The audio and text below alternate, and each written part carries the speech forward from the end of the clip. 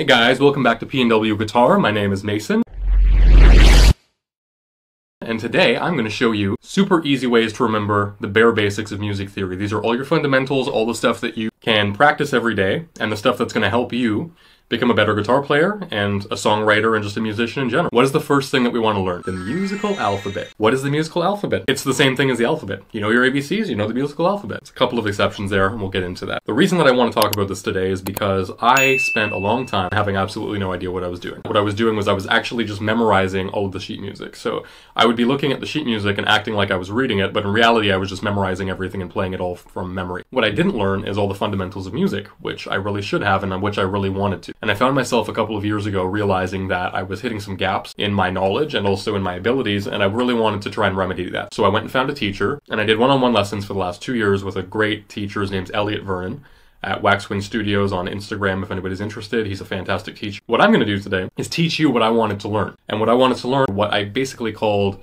practical theory. And this means that I don't want to get too theoretical. Basically, anything is up for grabs, but you can't break the rules unless you know the rules. So today, we're going to learn the basics. So the first thing we want to learn is the musical alphabet. If you know your ABCs, as a matter of fact, as long as you know A through G, you're good. Then you know the whole musical alphabet with a couple of small exceptions. These are the exceptions I'll show you. I'm going to start on A. I'm going to switch to my other camera here so I can show you more closely. Uh, most people know their root A there from the pentatonic scale. We all love it. Minor pentatonic, it's fantastic. We'll talk about that later. But for here, we're talking about the A note. So the musical scale that we're talking about, the major scale, is this.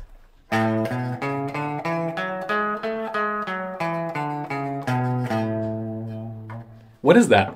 It's Do Re Mi. It's a very common nursery rhyme all of us learned as kids. Just turns out to be the major scale, which is fantastic because that means it's probably really deep in a lot of our heads.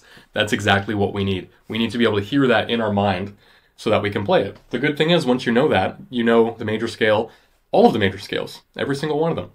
How many are there? There's about 12. So, to keep this super simple, our major scale, like I just played on A, Starting on the fifth, we've got five, seven, four, five, seven on our A string, and then our D string, four, six, seven. And that is it. That is the whole major scale. Why is it good to know that? Because when you know that major scale, you know all of the notes that are in that key as long as you know what the notes are. So let's learn the notes. That's the next important thing, right? We now know the major scale. That's the bedrock for all of music theory. What do we need to learn next? We need to learn the accidentals, as they are called. At least that's how I've known them. And the way to learn those, I'll go back to my B cam here again, is to learn the notes in between the notes.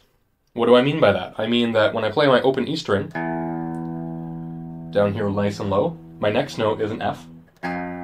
That's that's basic in the uh, in the alphabet, EF. But this note is not G. Why is that? It's because we have sharps and flats. So this is where it gets maybe a little bit complicated, but don't overthink it. It's not as hard as it sounds. Let's get into it here. So we've got E, F. If we skip the second fret and go to the third fret, we've got G. Skip the next fret, go to fifth, A. Skip another fret, go to the seventh, B Go a half step up, that is one fret up, to eight. C.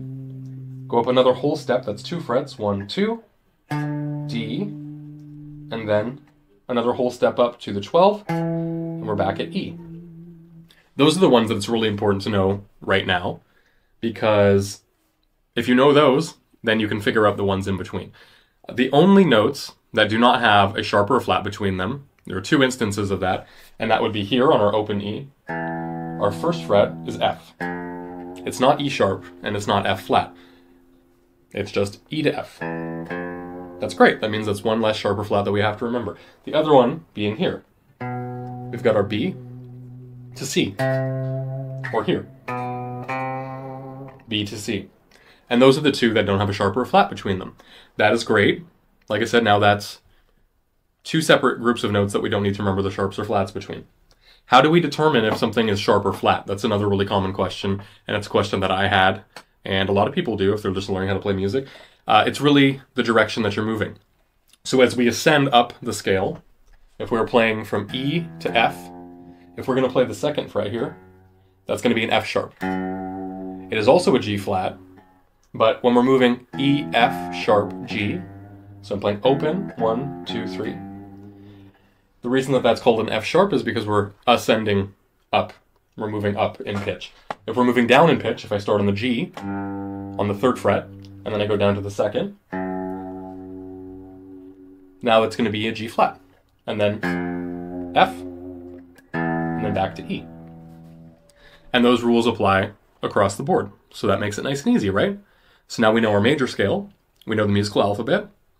What will we do then with that? Well, this is where I'm going to start. Most of the time when we instruct music, um, especially in the beginning, we learn everything based on the C major scale. So I'm going to play that here, starting from our A string on the third fret, C, D on the fifth, E, D string on the second fret. Third fret on the D string is F, fifth is G, A there on the second fret of the G string. Sorry. There we go. Fourth fret on that G string. So we've got C, D, E, F, G, A, B, and then we end up at C again. So that is our C major scale. Why is it great to know that? Because there's no sharps and flats in C major, which makes it awesome. There's also no uh, flats or sharps in A minor, which is the same scale moved uh, starting from a different note, but we'll talk about that a bit uh, later on when we get a bit more into the circle of fifths and um, relative minors and stuff like that. So for now, just you know keep that in the back of your head, but it's not necessarily important where we're at right now. So no sharps or flats in C major. Why is that awesome? Because we don't have to remember any of the in between accidental notes. Uh, we don't need to remember that the third chord is a sharp or a flat. It's just what it is. It's C, D, E, F, G, A, B, C.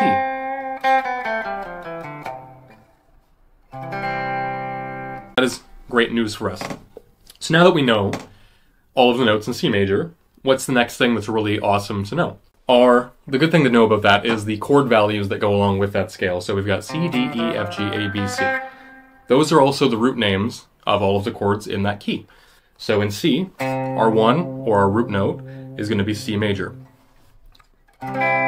Now it's a really easy way to remember what chords are major and minor in the major key is this. Your one, your four, and your five are all major. So that's your C. So C, D, E, F being your fourth, also major.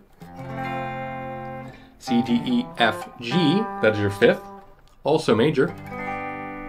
What that then means is that your 2, 3, and 6 are minor. So C, D is minor.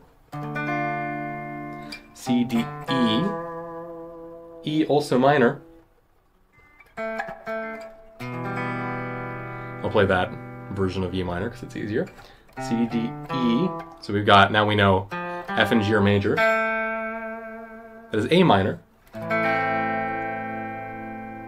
And the only one that doesn't fit into that is the diminished chord, which is our seventh. So what is our diminished chord in the scale? Well, C, D, E, F, G, A, B. So our B is a diminished chord, which would be played something like this. Uh, let's see. Now, I won't ask you to remember the diminished chords, and honestly, we don't use them that often. Um, you might use them in jazz sometimes, uh, your diminished chords, you're not going to play them very often, and they're not necessarily the most important to remember, but if you can remember, 1, 4, and 5 are major, 2, 3, and 6 are minor. When you're playing in a major key, you're going to have a much easier time. And that is it for major keys, honestly. So you know the musical alphabet, you know how to play through do, re, mi, fa, sol, la, ti, do. That's your major scale.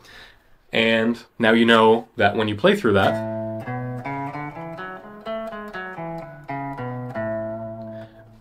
all of those notes are then going to be either major or minor dependent on which scale degree they're on. So that's how we think about these, and this is uh, another great way of thinking about music theory. Instead of thinking about the specific notes in that key, what I like to do, and this has made it really easy for me, is you think about them as a number.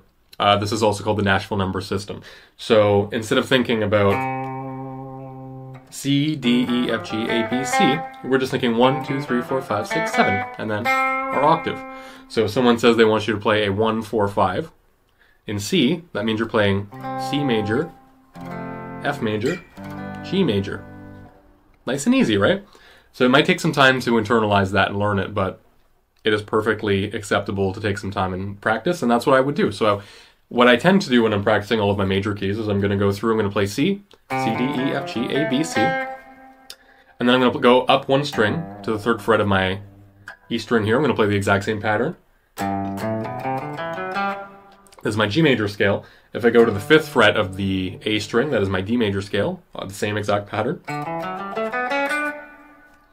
Fifth fret of the E string is our A major scale. And then if we jump up here, so we had D here, now we have our E major scale on the seventh fret of the D string. And then if I jump up here, seventh fret of my E string, I had A here, B. And you can keep going up like that and play through all of the major scales. That's a great lesson. So if that was helpful to you guys, I would appreciate it if you'd like and subscribe. I'm going to make some more lessons on music theory, and it would be fantastic to see you guys coming back.